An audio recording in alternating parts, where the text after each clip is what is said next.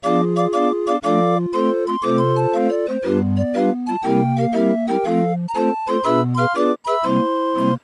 een mooie Pinksterdag, als het even kon, ging ik met mijn dochter aan het handje in het parkie, kuieren in de zon. Gingen maar de liefjes